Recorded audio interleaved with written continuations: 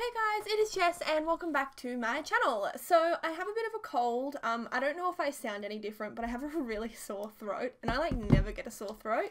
Um, but yeah, it kind of hurts. So apologies um, if I do sound different or I cough or anything like that. So anyway, um, see already, I already had to clear my throat. Um, yeah, so I do have some stories to tell you. So you may or may not know, but for my 18th, oh, my 18th, for my sister's 18th birthday, I was going to record a vlog, and I ended up like doing a whole heap of recording, and then I kind of just um sucked out and deleted it all. So I figured I would just tell you about my um sister's 18th birthday instead because it was a really good day, and I I don't know. I kind of wish that I didn't. Oh, I don't know. Like, I don't think I had good enough footage to release a vlog for it. Um, because I'm still like learning and everything. But at the same time, like I I need to just suck it up and put a vlog out there because otherwise it's just gonna like I don't know. You know what I mean? Like you have to start somewhere, but Anyway, I'll get there. I will get there. So my sister's 18th. So yeah, it was a really, really, really fun day. So my mum had this idea that she wanted to do some like kind of like a scavenger hunt, I suppose, for her birthday.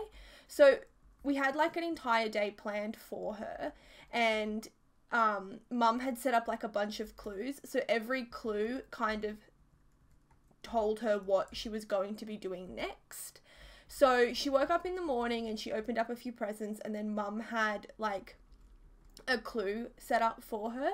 And that clue told her that she had to go down to our like the local mall for something to drink. So we all met my sister there and um when we were there like we had like a cappuccino and a flat white and my sister had like a um oh, what is it, an nice chocolate, iced coffee. And then when we were there, my mum had like another clue for her, and they're all like in envelopes, and she'd like written out all these clues and made them like rhyme.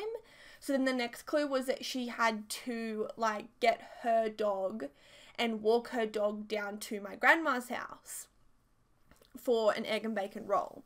So she walked down to my grandma's house, uh, like where we live, and my grandma had prepared this like whole breakfast for her. So there was like, um, we had egg and bacon rolls, and she tried to make pancakes, and she made it from like a packet mix because she was a little bit out of time.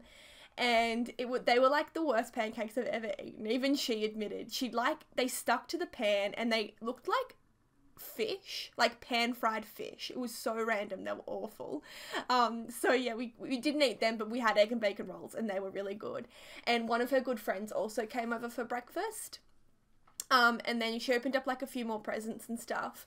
And then from there, her and her friend met another friend and they went shopping. And um, yeah, so they like went shopping with her birthday money that she got. And while she was like shopping, my grandma was like, Did you ever get Abby an 18th present? And I'm like, Well, no, because I was going out with her that night and I was going to buy her a drink. And my grandma's like, No, it's the 18th, you have to get her a present. And I was like, But but I'm buying her a drink. I don't know what to get her. And then my grandma guilted me, so I ended up having to like go down to the shop and buy her a present. So I ended up going down and buying her a Pandora.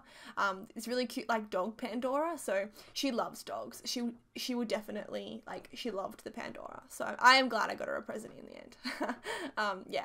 So then after that, um, we all just went to the um like to this playground where when we were younger, our grandpa used to take us to that playground. So it's sort of like, I guess, a special playground in a way. And yeah, we all went down to that playground and we had like a picnic. And that was really fun because I had chocolate and I love chocolate. um, yeah. Then after that, we like. all went home and got ready to go out for dinner and we went out for dinner to like um, an asian restaurant and we had like dumplings and fried rice and all that kind of stuff it was really really good and then after that, we went to the casino. Because um, when, like here in Australia, once you turn 18, you can, um, like, eat whatever you want, pretty much. Um, you can eat whatever you want. I mean, you can do whatever you want. Like, you can vote, you can gamble, drink, um, yeah, you know what I mean? Like, you can do all that kind of stuff. So, that is what we did we went to the casino and none of us won any money. So don't gamble, kiddies. It's bad for you. um, and then after that, we went. My sister and all of her friends and myself. We all went out to um, the city. Like we call it Civic. That's like where all the nightclubs are and stuff. And we ended up having. Um, we stayed out until like three o'clock in the morning. So it was a pretty good night. And I'm not going to go too much into that because you know, like um, family friendly and all that kind of stuff. But what I will say is that we had a lot of lemonade and we had a good night. um, yeah, so that was my sister's 18th birthday. Um, yeah, and I did, as I said, I had all that in like in vlog form and then I deleted it. But let's just move on because I do have some more stories for y'all. So, as you know, I spoke about it in like a previous sort of speed build. I had been um like absolutely dreading going to my sister's play. So the play actually was not that bad. It was not that bad at all. It was very long. Don't get me wrong. It was very long. And I mean, I would have preferred it if it was like a little bit shorter, but it actually wasn't that bad. It was pretty good. Like I wasn't really bored.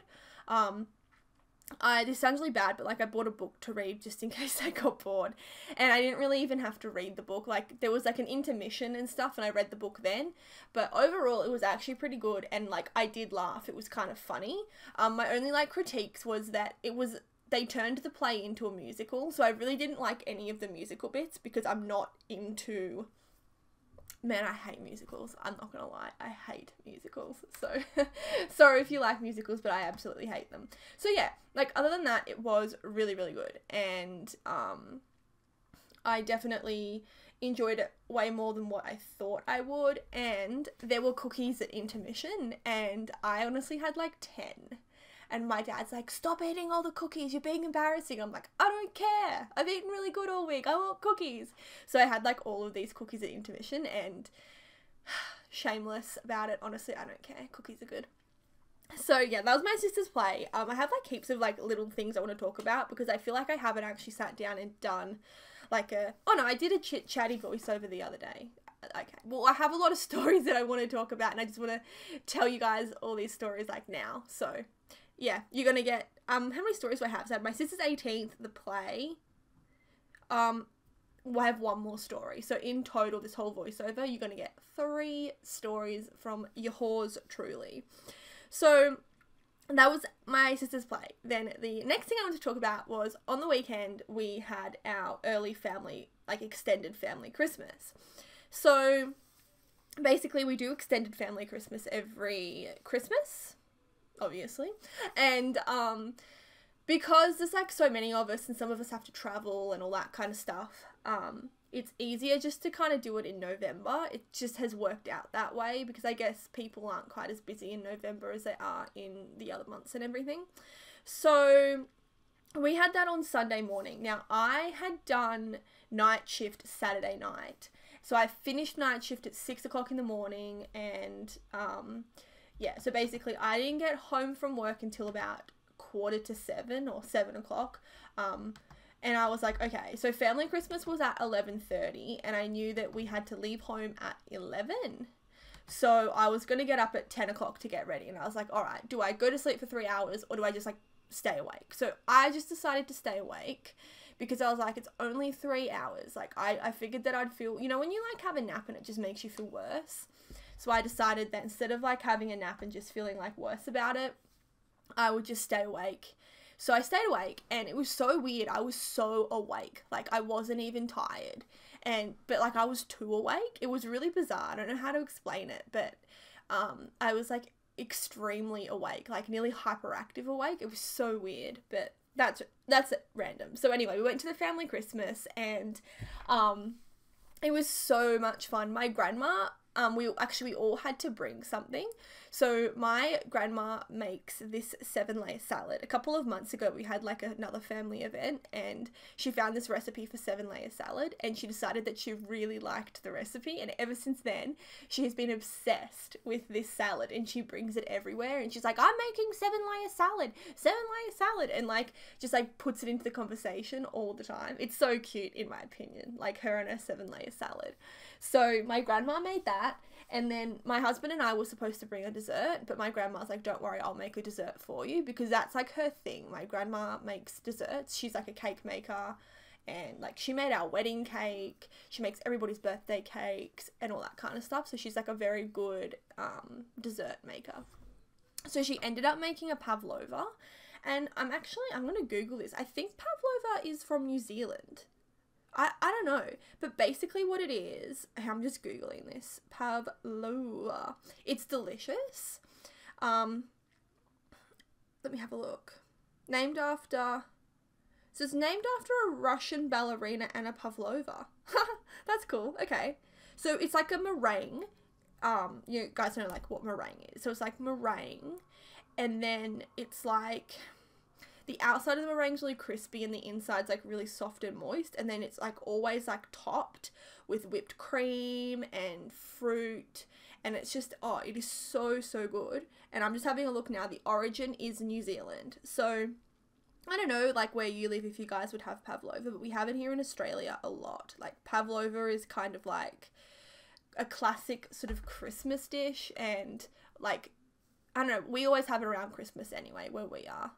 Um, it's like a real summery dish, so it's not even a dish, it's a dessert. What am I saying? Anyway, pavlova. So my grandma made pavlova and seven layer salad.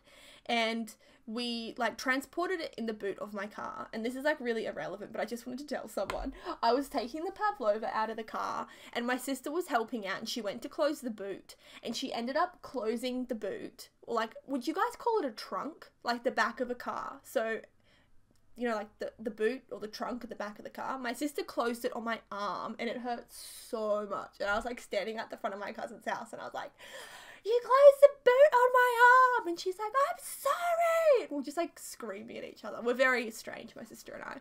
So anyway, that was that was alright. But we had like heaps of food and it was good because I, I did say I was a bit worried about eating bad and there wasn't really any junk food there at all. Um, because it was just like mostly it was just like chicken and all sorts of different salads. So I just like filled up on salad. Like it was really delicious salad. So I'm pretty happy with how I ended up like eating and stuff. I didn't have to worry about that.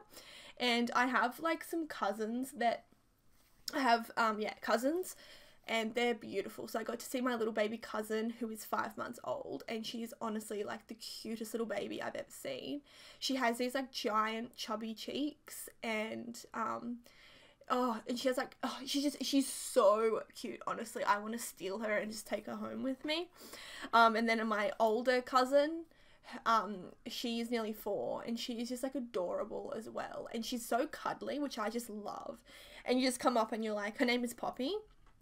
And you just be like, Poppy, I, I need a cuddle from you. And she'll just like come up and she'll like tuck her head into your chest and just like curl up and cuddle with you, which is like adorable. I love my little cousins. I always, oh, oh, I'm getting like proud cousin moment here. Um, yeah, so that was like the family Christmas. It was really, really fun.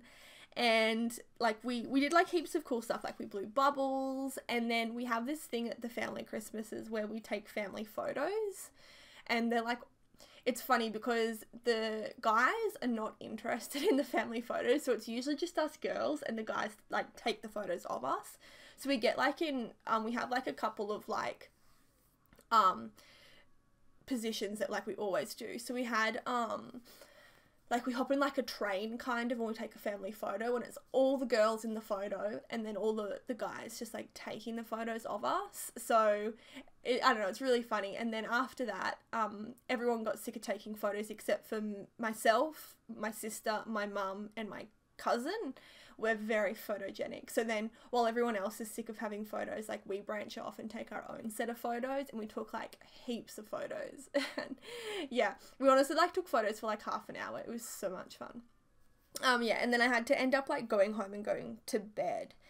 Um, yeah, so like my sleep is just like so crazy at the moment because as I said I've been doing like night shift and stuff and yeah it's just like it's so weird because I'm just like out of it. I don't even know what day it is. Like I keep on being like, oh, is it Monday? It's Tuesday. Like I have to check. And it, that's like really weird. And I feel like if you don't do night shift, you, you probably think that I'm mad. Because I remember this one day, um, we were like at the shop and this lady came up to me and my mum and she was like, oh, I'm really sorry. I'm a nurse and I do night shift. I, what day is it? My mum was like, oh, it's Wednesday. And when the lady left, I was like, mum, was she crazy? Like, how do you not know what day it is? And mum was like, no, when you do night shift, like, it can really mess you up. And that was like ages ago. And now that I'm older and I actually do night shift, I totally understand where that lady was coming from. Like, it's really bad when you do night shift, you don't know what day it is. It's bizarre. Because, like, you, you just like you lose track of everything. Like, it's it's weird because like today is Tuesday. So I will start work on Tuesday, but I will finish work on Wednesday. And then I will go to sleep and wake up and it's still Wednesday. And like it's just I can't explain it, but if you guys do night shift, I think you'll understand what I mean. It's just bizarre. It is the weirdest thing ever in the whole entire world. So um tonight is Tuesday night, so I have tonight's night shift and then I have one more night shift left and then I'm done. I don't mind night shift though, except the only issue is that I'm at like I'm not on my own. There are security guards, but I'm the only person like on my floor. So I'm on like the second floor and then the security guards are on the first floor. And so basically I'm on like an entire floor all by myself. And it's freaky because we have these sensor lights and they they're not supposed to turn on unless they're triggered. So there's like a small area where I sit where they're on all the time, obviously because I'm sitting there. But then all the rest of the floor is dark. And sometimes they will turn on like in sequence as though someone is walking, but nobody is there.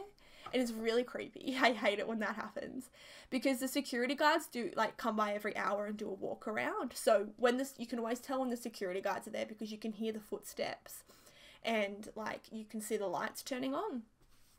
And from where I sit at my desk, I can actually, it's a really weird building, but like I can see down to where the security guards sit. So that I know there are three security guards on. So if I see like the lights are turning on, I can look down to where the security guards are and be like, oh, okay, there's only two guards there, which means that one of them is doing a walk around. That's why the lights are turning on. But sometimes the lights will turn on and I look down and all the security guards are like sitting at their station and I'm like, oh damn. Oh no. Like it's freaky as and I always like I feel like you can kind of see stuff moving out of the corner of your eye. And I mean, I'm probably just exaggerating. Like, I'm not exaggerating because I've actually asked other people, I'm like, oh, do you notice this? And someone at work is like, yeah, the lights turn on all the time, but I pretend it doesn't happen. But I don't know if it's just that, like, you're tired and, like, your mind is playing tricks on you, which I, I'm like, I'm sure that it is, but it's still kind of freaky, like, when you're all by yourself and the bloody lights are turning on. So, I, like, make a point of never doing, like, I don't watch, um, because it's not super busy on night shift, so we are allowed to watch, like, YouTube and I make a point of never watching anything scary on YouTube because I get to the point where like I, I did it once. I watched um something like a scary documentary on YouTube and I couldn't even go to the toilet. I was so afraid. I was just like sitting there and I'm like, I'm not leaving my desk. And I had to wait for the morning people to come in to go to the toilet because I was like, nah, nah, I'm not leaving. And like I I wouldn't even go to the kitchen. Like I was so hungry and I was thirsty and like, I didn't have to go to the toilet that bad, but like, I just remember I was really hungry and I was really thirsty. And I was like sitting on my desk and I'm like, someone, someone come in. I'm too afraid to go anywhere. And yeah, I learned my lesson. I will never do that again. So yeah. Um. Okay, guys, I actually have to go because my throat is so incredibly sore. Like, I just, I can't, I can't. Um. This is a bit shorter than usual, but I hope that you still enjoyed this build. Um, I hope to catch you all in another video. Um, it'd be awesome if you could subscribe. You know, become a member of the Jess Plays fam. oh my god, I hate doing that because, like, on one hand, it's like I, you know, obviously I want people to subscribe, but on the other hand, it's like, you know, to subscribe. I feel like I don't need to tell you to anyway, whatever, guys. I will um, hopefully catch you all in another video. Thank you so much for watching, and I hope you all enjoyed.